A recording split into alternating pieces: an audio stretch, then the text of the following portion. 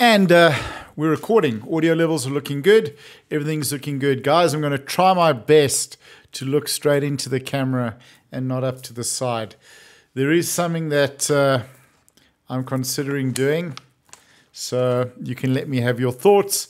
That's basically for those of you listening to on this this on audio.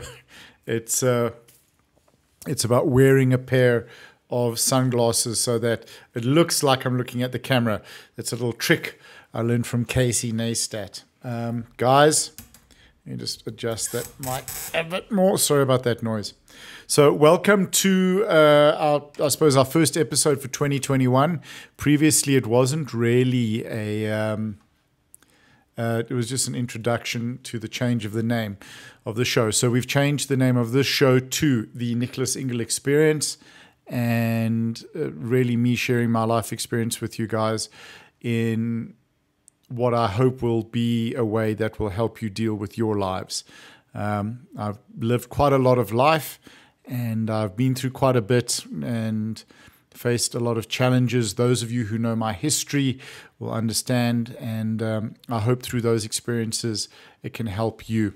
The purpose of this show is to really help you find ways to increase your strength, both emotionally spiritually, physically as well.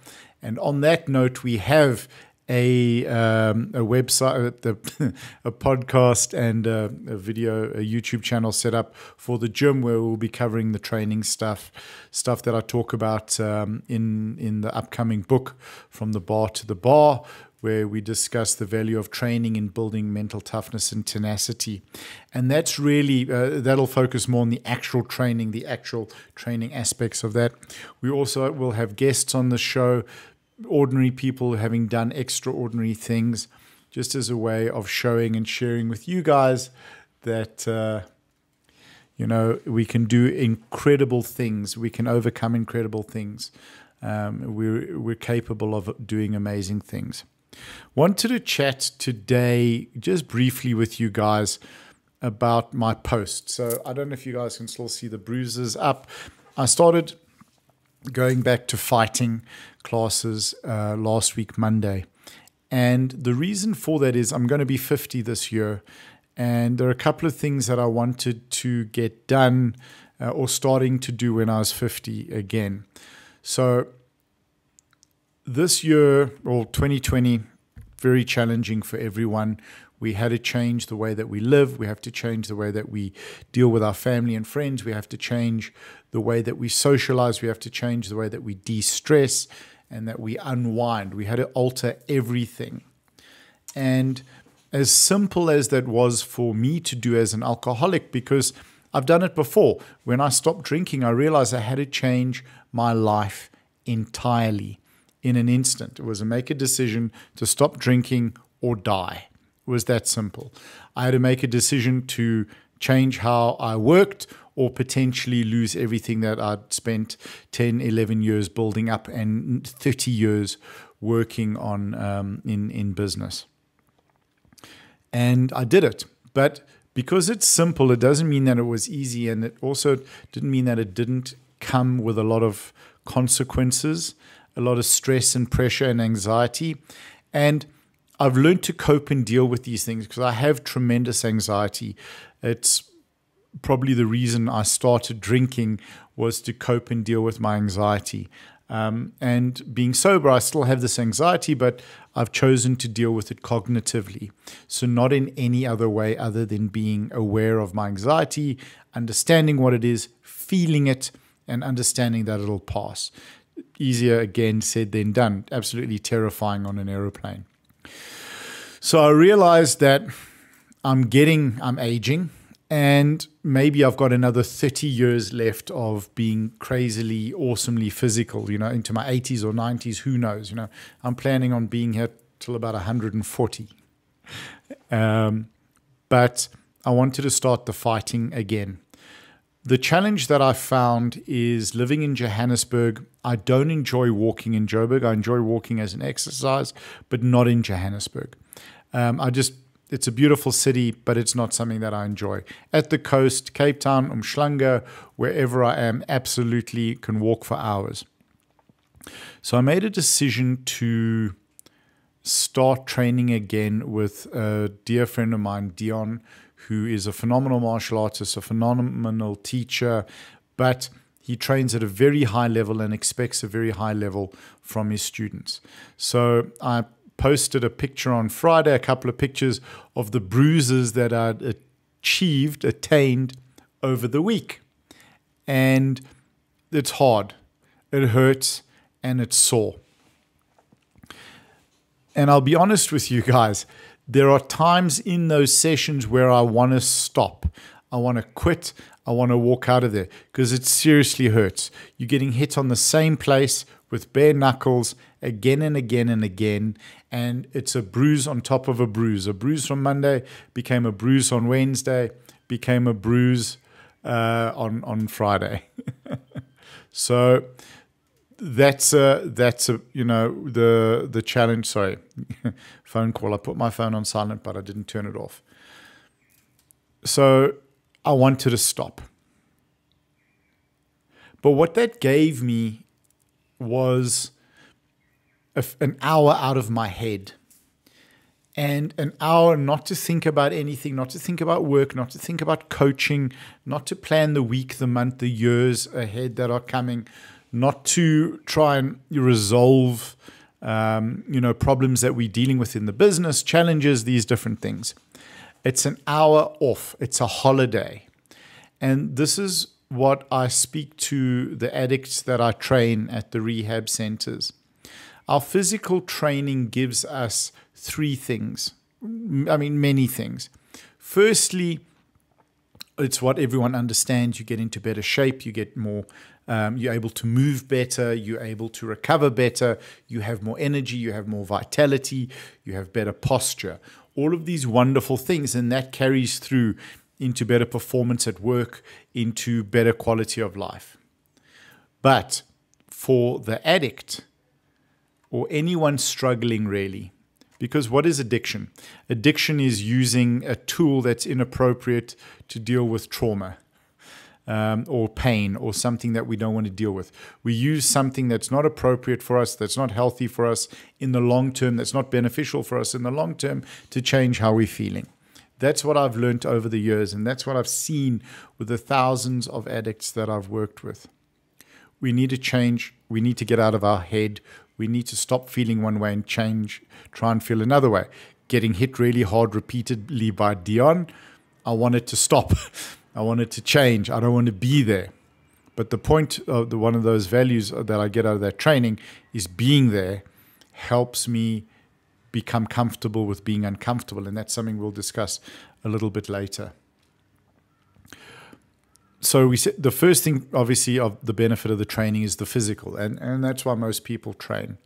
The second benefit is the fact that you it, it forces you to do more than you believed you were capable of.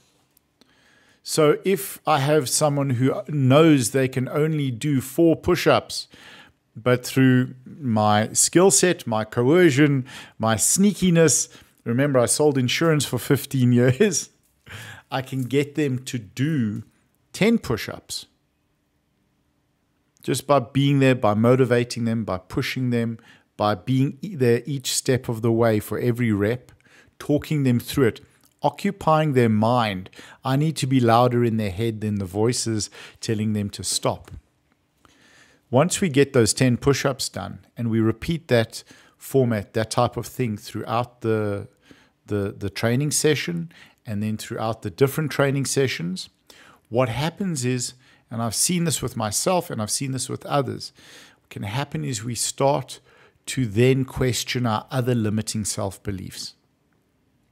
So, where we know, we genuinely know we can only do four push ups at a stretch, and then suddenly we do 10. I'm not talking about five, I'm talking about like 10. Suddenly we can start to question the other areas of our life where we have limiting self beliefs. I can't get more clients. I can't resolve this issue with my partner. I can't do this because I'm not capable. I can't do that because I don't have the skills. I can't do this because I don't believe in myself. We can start to understand that when we remove that, when we are capable and able to do things we genuinely believe that we couldn't do, then that opens a lot of doors to us in what we can achieve in life. And that comes down to simple building quality of life. The more that we believe we can achieve, the more that we believe in ourself, the more we improve our quality of life. Because effectively, it gives us more control, gives us more power. The more that we believe we can do, the more powerful we, we, we feel, the more in control we feel. I mean, control is an illusion to a degree, but the more in control that we feel, the more capable we feel of controlling where our lives are going. And the third thing, which I'm finding incredibly valuable with the training at the moment, and which I've seen with my addicts, is that it's an hour out of my head. Now, I'm not sitting on the beach drinking a double espresso, looking at the sea and vegging. It's an hour in discomfort and in pain and in pushing and in shortness of breath and in wanting to die in the corner, wanting to throw up a kidney. You know, and I think a lot of my clients will be listening to this and chuckling that, you know, oh, good, coach, you're going through the same thing you put us through all the time. Absolutely. But it's an hour out of my head where just surviving that hour, just pushing through that hour, fills my mindset so much fills my head so much that there can't be anything else in there. And it's uh, that's the vacation because I can't travel as much as I wanted. We can't travel as much as we want to. I can't spend time with my family as, as I would like to. I can't spend time with my friends as I'd like to. I can't be out. I can't be socializing.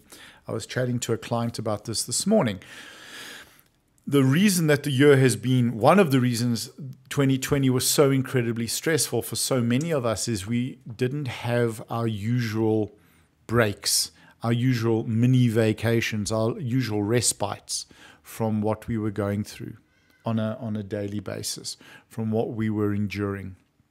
You know, stressful day, go to Magaliesburg, go shopping, go for lunch with friends, hang out. All of that stuff has now been removed. So we got to be present.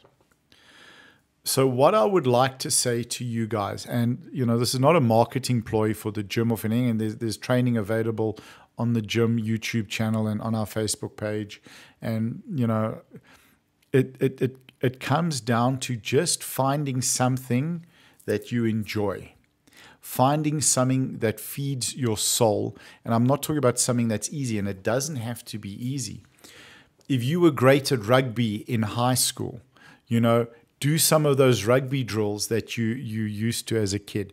Put yourself in an uncomfortable position. If you were great at swimming or track and field, or you didn't do any physical training at school, start doing some physical stuff with some basic planks, some basic static holds, things that challenge you and get that conversation going inside of your head where your body is screaming at you to stop and your mind is screaming at you to you're going to carry on. And that argument fills our head. And nothing else is allowed in there which means there's no anxiety or guilt or shame or pain or pressure or stress because we fill the head with that ah I have to stop. I have to stop. I can't. And then we start looking, you know what I'm talking about. We start looking for those um, ways of justifying to ourselves why we should stop, why we should not carry on. Every reason we need, like, okay, um, you know what, I'll, I'm going to stop this and then I'll push harder in the next set. Or I'm going to stop this and I'll try next week. Or this is mad. There's no way I can do this. I need to stop but we set ourselves a safe and appropriate goal. Now, I'm talking about very, and this is vitally important, guys. I'm talking about training in a safe and an appropriate manner. I'm not talking about injuring yourself or hurting yourself or pushing yourself so hard that you end up in trouble. Talking about training in a safe, healthy, appropriate manner. Whether it's doing a wall sit against the wall for 10 seconds and repeating that five or six times. Find something that you enjoy. And I spoke earlier about um, about rugby and these soccer, these things that we did at school. Find something that you loved doing in high school, and find a way to start doing that again from a physical activity or as a kid, because you want to bring back those fun memories, those joyful memories. If you've got an old mate that you used to train with rugby on, get hold of him uh, or her on Zoom and train together. You know, if you can't train on Zoom, set yourself challenges for a plank, for a run, for push ups, for squats. Get hold of those mates of yours that you were at school with, you played netball with, you swam with, whatever, and, and find a way just to connect. And it doesn't have to be for an hour, it can be for five minutes, for 10 minutes, for 15 minutes. Because the hard training, when those voices come on, and there's nothing else in our head other than our head, our body trying to tell us to stop, that's where we have our mini vacations, our mini breaks that can replace the real holiday, the the the lunch with friends, the dinner with family, the the the time away that we don't have access to anymore at the moment it served me so well that those I was in Cape Town for five days, and I think those three hours have done of training last week have done my mental health so much good that um, uh, they, they, did they did me they served me better than the the week in Cape Town, to be honest. Um, because also listen, it's a lot less stressful in terms of flights and hotels and, and other people and anxiety around um, you know, people without masks and all of this stuff that we carry with us. So find something to do and just find a way to push back to training, irrespective of what age you are. Do it in a safe, healthy, and appropriate way. I think if you go and Google my name in Men's Health magazine, South Africa, I did an art. Men's Health did a feature on me. I think three or four four years ago, four years ago, and um, I spoke about a couple of the static holds that I do with the uh, with the addicts, and that article's up on uh, it's up on the web. So go and check that out if you want to get a few ideas. We need to do more things right now, more so now than ever, that are an expression of self love, that are an expression of self worth, that are an expression of self care. Because my experience, and from having chatted to a few people, it still feels like 2020. and the December holiday, this long holiday, feels like a short holiday in June in the middle of the year. So we need to make sure that we're doing things to look after ourselves, that we're doing things to care for ourselves. And this is one way to do that. There, there, there are many others. I mean, there's service, there's helping others, there's art, photography, all these wonderful creative outlets. But what I love about the hard training and what I've seen it, the benefit it's given people over the 14 years that I've been sober and using this with people, is that it, it's a proper vacation. When you fill your head with those that voice screaming at you to stop, nothing else can get in there, and it's a wonderful break. So, guys, I mean, that's 18 odd 19 minutes. I hope you enjoyed the show. Um, please, what I would like to ask you is if there's anything that you're struggling with, if there's anything that you'd like me to talk about and share my experience on, please leave a comment below. Um, the show's for you guys, and it would mean a great deal to me. That let me know what what are you work struggling with, what are you pushing through? Where are you finding challenges? Um, I know a lot of people have approached me over the past couple of months, several months, where they're worried about the amount of alcohol that they're drinking and that they panic now. In South Africa, we've had a ban on alcohol. Um, where the you know it's just it started out as fun and it started out at five, six in the afternoon, five in the afternoon, and sometimes it's ten in the morning now.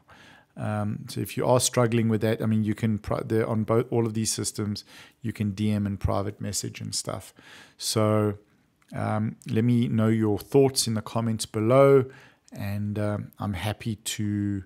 It would mean a lot to me to be able to discuss those topics and share my experiences on, on how I dealt with something the same or, or similar. And um, that, again, is the purpose of the show. It's for you guys. So, guys, thank you so much for listening. And uh, I love you all, as you know. And uh, take care of yourselves, guys. Be safe. Look after yourself. Love yourself. And do something every day to show yourself that you love yourself. Okay, guys. I love you all. Oos.